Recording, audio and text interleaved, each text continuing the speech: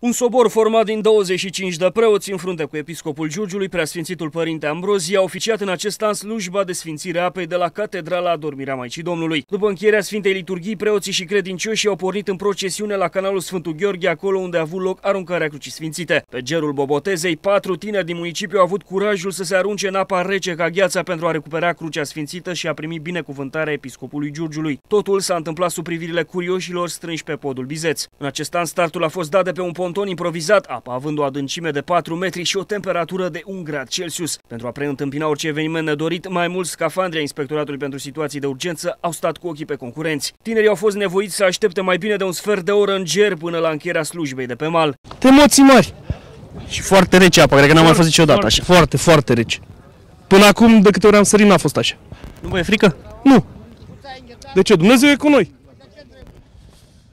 Ce te determină să sări în fiecare an?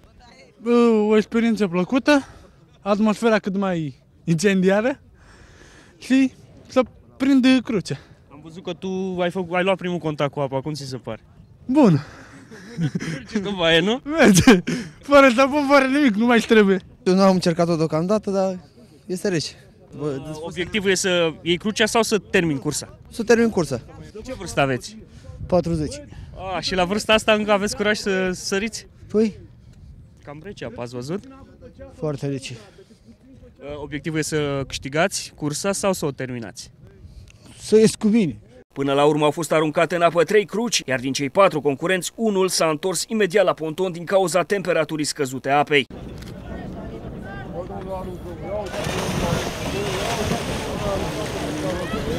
Bataie!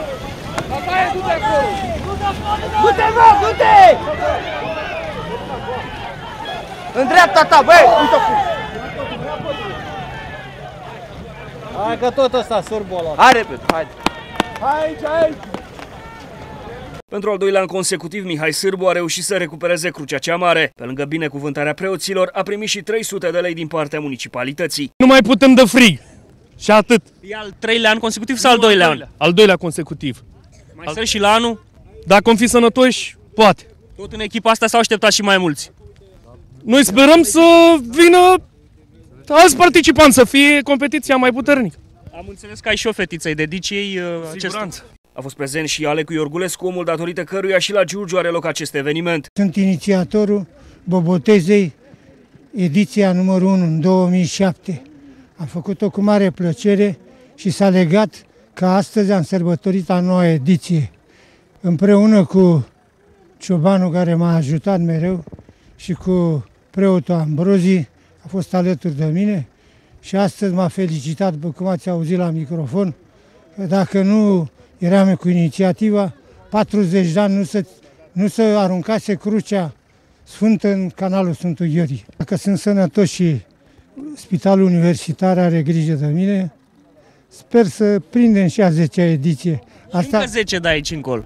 Nu încă 10, eu îți mulțumim dacă oprim pe a 10 și până vorbim de a 11 tot la canalul Sfântul Gheorghe a avut loc și botezul cailor. Lucică, Linda și Lola au furat privirile curioșilor. Răvaș Lucică. Așa e el. Am văzut că și dumneavoastră strâniți. Nu, așa face el. De ce ați venit astăzi aici? Ca să-l botezăm. Ca așa ați venit până acum? Da, mai am venit în fiecare an. Pentru prima oară aici? Nu, în fiecare an venim, dar ultimii ani nu s-a mai ținut tradiția și am mers la Zdobozia, la Stănești, unde s-a organizat mai frumos. E, e foarte frumos calul. Ce rasă este? Da, este un cal sânge unguresc, are 4, 4 ani. Este o iapă sură, cum se vede, rublată și este foarte frumos. Cum o cheamă? Linda.